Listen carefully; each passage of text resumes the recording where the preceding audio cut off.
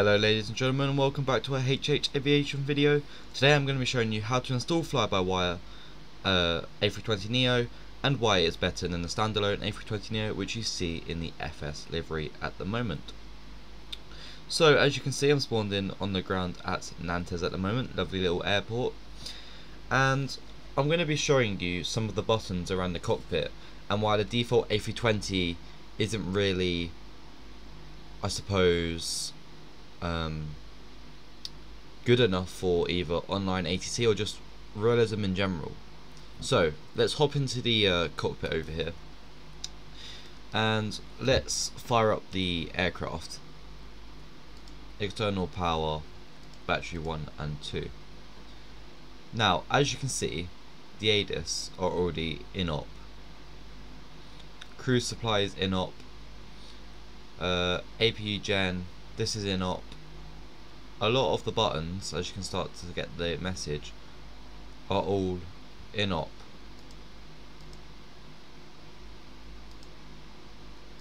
This arm, the emergency lights is in op. I was going to say, don't tell me this isn't in op as, as well.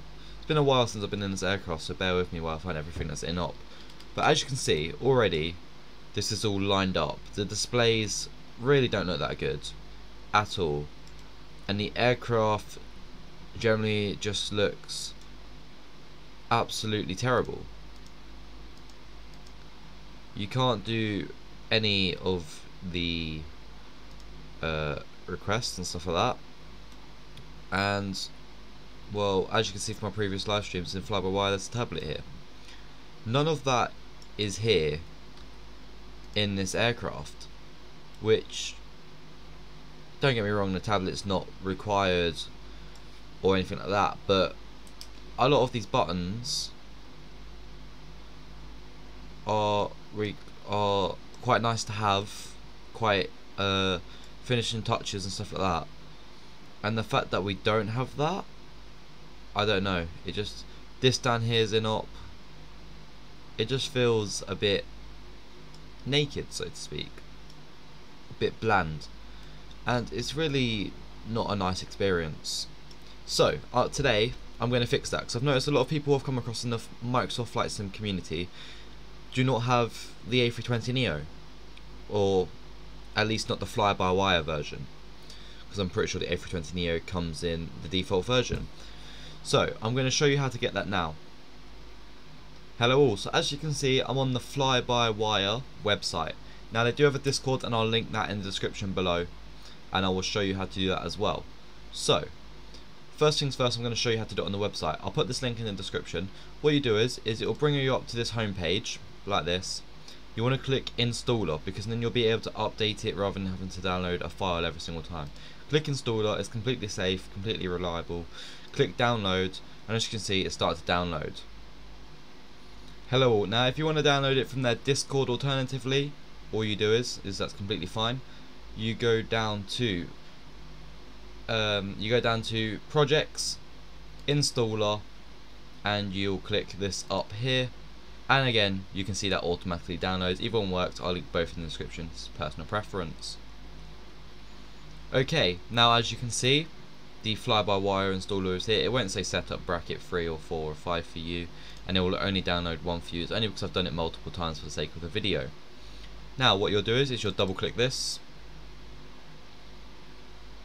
You don't need to extract it or anything like that. Once you've double clicked it, this will here will pop up and then once this is finished it should take you up to a page like this. Perfect. So make sure you, you have Microsoft Flight Sim closed. As you can see it says please close Microsoft Flight Sim for me. So what I'm going to do is, is I'm just going to quickly close the sim and I'm going to quickly uh, reload this. Okay, so as you can see, the A320 NX is the fly-by-wire's A320. It's now officially standalone, so they can build their own custom autopilot and stuff like that and make the flight dynamics a lot more realistic than the default, which is amazing because it means us flight simmers can get a lot more of a realistic experience. So, the current versions are the stable, development, experimental. If you have a TCA uh, throttle, then you're going to want the development. And I believe there is ways to get it to work with the experimental, but the development's a lot easier. And you will have to configure your throttles. Now you've also got the stable. I don't recommend the stable as the custom flight dynamics I don't believe are in there at the moment, but you can guarantee that the compatibility works.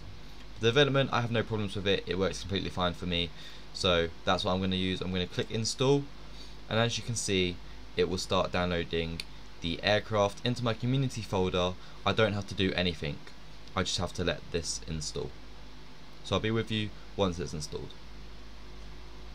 Okay ladies and gentlemen, so as you can see my fly-by-wire install is pretty much done.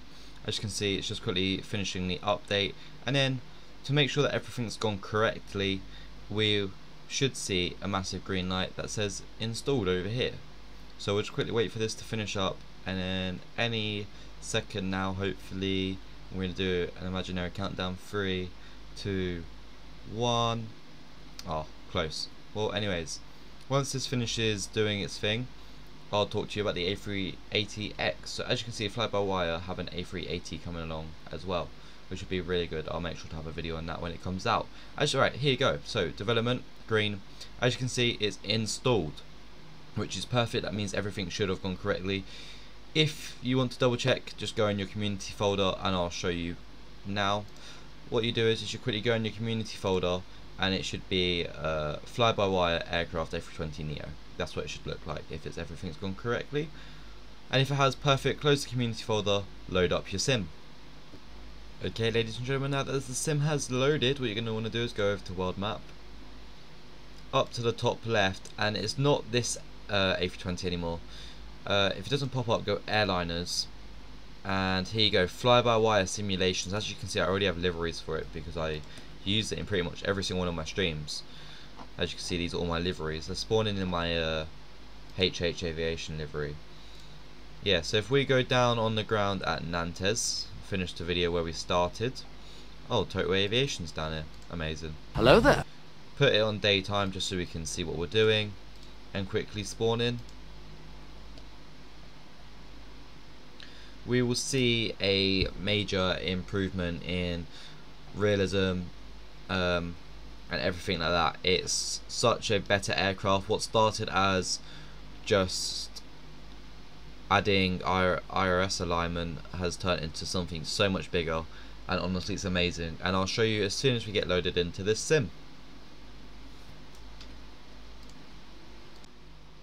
Okay ladies and gentlemen, as you can see we've now spawned into Nantes Airport again, finished the video where we started it, and if we go inside the cockpit now, and power up the aircraft. Same thing, same process, we've just literally done the same thing. As you can see, these are all able to be moved. Now, if I put them on, you actually have to wait for it to align, rather than it just starting up and it being ready to go. And the displays look a whole lot better. All this is now able to be used. If we go up to the top, this is able to be used this is able to be used everything is able to be used like it should be in an actual in an actual plane every single button that is required or at least majority of the buttons is able to be used which is an amazing amazing job by fly-by-wire because it just helps out so much. And it makes such a nice flight sim uh, experience. Look we've got a EFB tablet here called the flypad you got you got loads of things. And if I click on the MCDU menu as you can see you've got how uh, captains and everything like that would actually weather request ATIS performance weight and balance how they'd actually start to do the setup of planes if I was to put my SimBrief username in here, click look from SimBrief, it would load up my flight. It would load up the information at the two airports. There's so much more to this aircraft that make it so much more better. And honestly, if anyone here flies on ATC services or doesn't and just flies around in the A320neo, I really recommend this to you. But anyways, guys, this has been it for HH Aviation and this video of how to uh, get fly-by-wire and why it's better than the standalone A320neo. Um, Hope you all enjoyed, and I'll see you all in the next one. Peace out.